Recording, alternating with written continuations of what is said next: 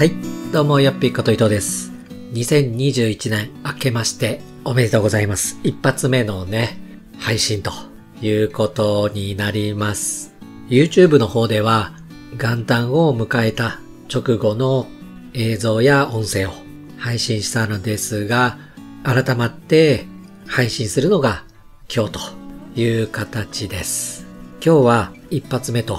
いうことでコメント回答をしていきたいと思います。前回の放送もかなり間が空いて収録したんですけど、それでもね、多くの方に聞いていただいて非常に嬉しく思います。ありがとうございます。もう再生されないんじゃないかなと、ちょっと思ってたんですが、本当にありがたい限りです。そしてまたちょこちょこね、配信すると言いながら、間も空いたので、今年はなるべくね、間が空かないようにしていきます。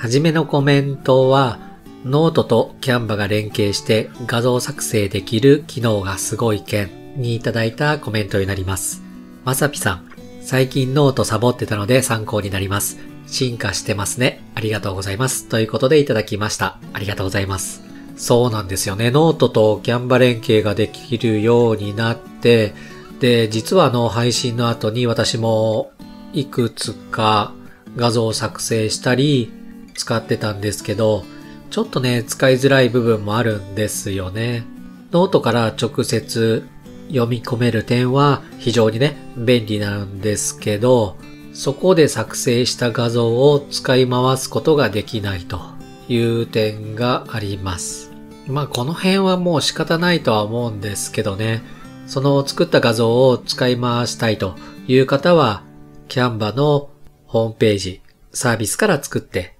で、ノートにアップロードするという、従来の方法がいいかと思うんですけど、手軽にしたいとか、サクッとサムネイル画像を作りたいという方にはね、キャンバ連携機能を使って画像をアップロードするのがいいのかなと感じています。いろいろノートも進化してますので、ぜひ触ってみていただいて、使っていただければと思います。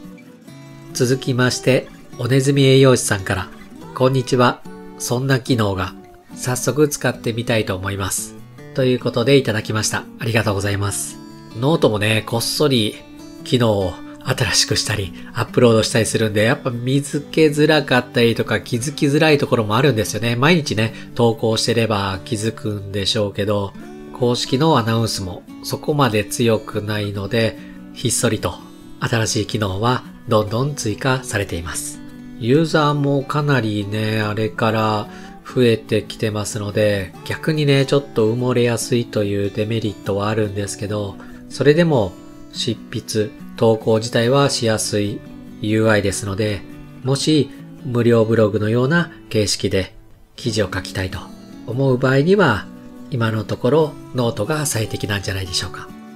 これ以降のコメントに関しては、2020年は大変お世話になりましたにいただいたコメントになります。トンキさんより、たくさんの情報いつもありがとうございます。来年もちょくちょく来させてもらいますね。良いお年を迎えてくださいね。ということでいただきました。ありがとうございます。ありがたいですね。それでもね、来ていただけるだけでも嬉しいですし、まあ大体ね、なんかしょうもないことを喋ったりすることが多いのでね、ためになる情報っていうわけではないんですけど、まあぐだぐだと喋ってますので、また聞いていただければ嬉しいです。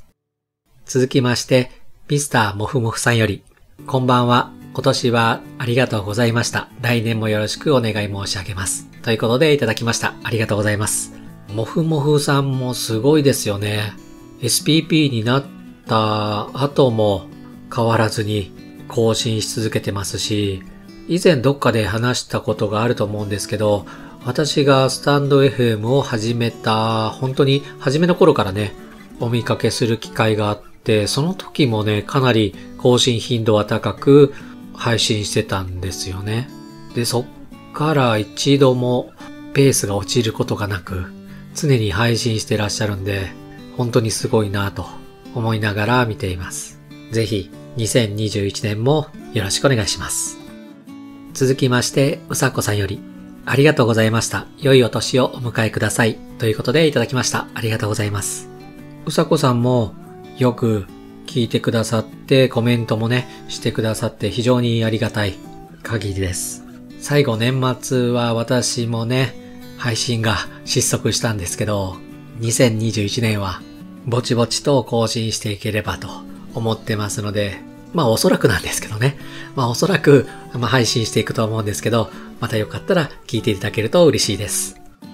続きまして、大輔さんより、今年は本当に大変お世話になりました。来年も何卒よろしくお願いします。ということでいただきました。ありがとうございます。大輔さんもね、大輔さんはあの、ノートを楽しむ会でご一緒させていただいてるんですけど、非常にね、創作活動に対して貪欲に取り組まれていて、ノートだけじゃなくスタンドエフエムに関してもね、頻繁に更新されているということでね、2021年も非常に活躍が楽しみです。こちらこそよろしくお願いします。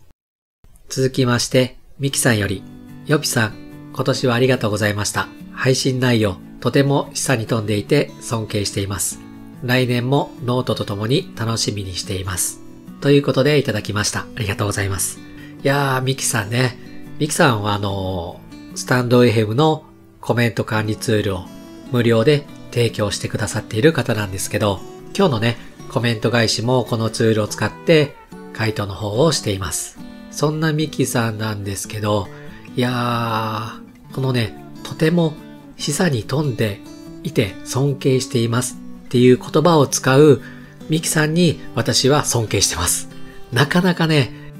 よく見る言葉ではあると思うんですよ。聞き慣れないとか、見たことないっていう方はいないとは思うんですけど、この言葉をね、使う方ってなかなかいないですよね。なので非常に言葉の表現力も広い方だなと思いますし、実際に私はね、お会いしたことないんですけど、きっといろんなものに触れて、いろんな感性を受けて、非常にクリエイティブな方なんだろうなというふうに思ってます。めちゃくちゃ知的ですよね。本当にね、今年初驚きというか、感銘を受けたというか、この言葉を文字にしてさらっと使える、めちゃくちゃ素敵だなと思いました。私自身もウェブで記事とかコンテンツとか作っていたり、あとはね、書いたりもしてるんですけど、この言葉を使った記憶は全くないんですよね。そして多分ね、ある日突然出てくるような言葉ではないので、日頃から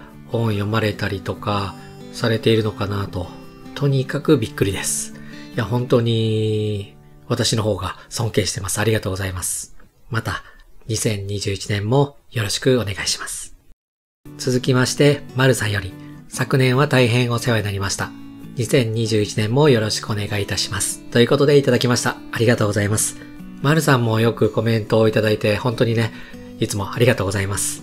しょうもないことしかね、言っていないこの配信なんですが、またね、良ければ聞いていただけると嬉しいです。皆様いつもありがとうございます。で、2021年に入って、もうね、ちょっとしばらく経つんですけど、今年の配信ペースはどうしようかなっていうのはまだ決めてないんですよね。いろいろと微妙なところもあるので、決めあぐねてるんですが、まあ一週間に一回ぐらいのペースでは配信できればいいかなという形ですね。まあ多分特に期間は決めず話したい時に話すという形がラジオの場合は私にとってはね、合っているような気がします。ブログやツイッター、あとは YouTube なんかはね、頻繁に更新していきますが、ラジオに関してはね、まあ様子を見ながらぼちぼちと喋るという形です。で、ライブもどこかでやりたいとは思ってるんですけどね。まあライブって言っても他のプラットフォームと同時配信という形でスマホを並べてね、一気にまとめてライブ配信したらどうなるんだろうって思ってますし、どうせだったら一つの場所だけじゃなくて同時配信することでね、てんやわんや状態になればなととはいえ、なかなか人も集まらないでしょうし、前もって告知して、さあやりますっていうね、感じではないと思うので、突発的にね、始めるためには、同時配信が面白いのかなというところで、明日はね、2021年に注目しているプラットフォーム、こちらについてお話しできればと。多分明日配信します。もしかしたら明後日かもしれないんですけど、まあ多分ね、明日配信できるかと思います。良ければまた聞いてください。ということで、本日はこのくらいで2021年もよろしくお願いします。それではまた。